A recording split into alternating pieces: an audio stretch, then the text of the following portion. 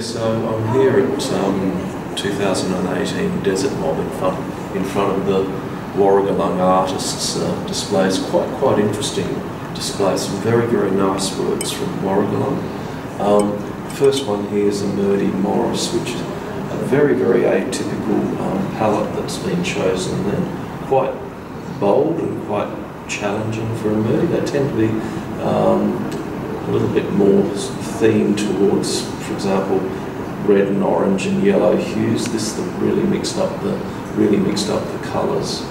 Um, this is a particularly good work. So, um, Kate Owen Gallery, we love um, Theo Hudson's works. They're they're fantastic. She's really and she's really come on in the last two years or so. This is a very very bold work. Uh, it's extremely well executed, very very uh, resolved work. Um, lovely, lovely uh, palette that's chosen, very complementary colours. Um, yeah, I think probably of all the works here, I think that's the that's the uh, that's the pick of the Warlukurlangu works. Absolutely fantastic. Pauline Gallagher's really interesting. So Pauline, um, this is a, a, relatively new style for her. She's she's actually had uh, worked through quite a few different styles over the years. I've noticed as Cecilia's sent down uh, art to us from, uh, from the Art Centre. Um, personally, I, I, I, I, like where she's going with this style.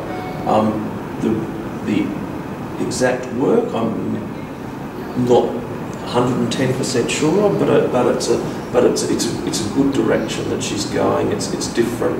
Um, and a great thing that the artist is clearly challenging herself not being not being stuck in stuck in a rut, and she's really challenging herself as well with um, so not only the structure of the painting, the representation of the and the representation of the Jukurrpa, but trying to blend these um, these uh, these colours together. This this uh, challenging palette. So good job, really really good job. This one's a, a it's a very, very nice work from Chantel. Now, Chantel um, came with four other ladies from Warlukurlangu to Cato and Gallery about three years ago, 2015, I think, and they did an artist in residence with us. It was a fun time for us all.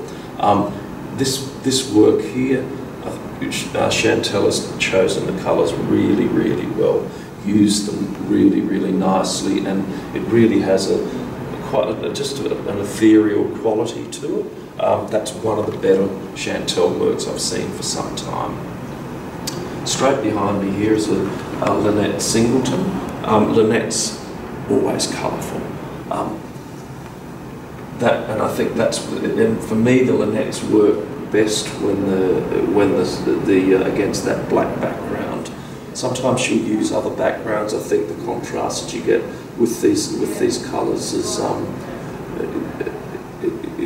it doesn't quite work on some of the other backgrounds. I think this, this is a this is a, a lovely work.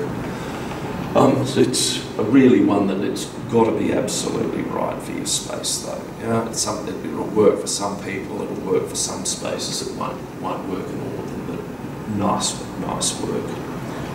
Another one of my little favourites. Now this is. Um, I'm not sure whether it's a daughter or granddaughter of Alma Granites, who sadly passed away in the last 12 months. Um, Athena's taking her mother slash grandmother's uh, story. We can see that's a Seven Sisters uh, dreaming there. Um, this is probably one of the better Athenas that I've seen. I mean, we'd hope coming coming to a, a major show like Desert Mob that the Art Centre would be sending in their creme de la creme of their works, and this is one of them. She's so Athena's really, really nailed it here. Very, very nice work. And this, so Judy, Judy Nungarrayi Martin uh, is an interesting, interesting style. I still think for me the style's a little bit developmental. We see, we see a few of them. As a gallerist, I haven't been attracted to them yet to, uh, to, to stop them, but we should keep keep our eye on, on Judith, that she's transitioned to this, um, this uh, manifestation of her Jukurrpa probably about 12 to 18 months ago uh, and it really is a significant step forward. But maybe with that one, we just watch this space. So I hope you have enjoyed our uh, yeah look at uh, Warlukurlangu Artists exhibition Desert Mob this year.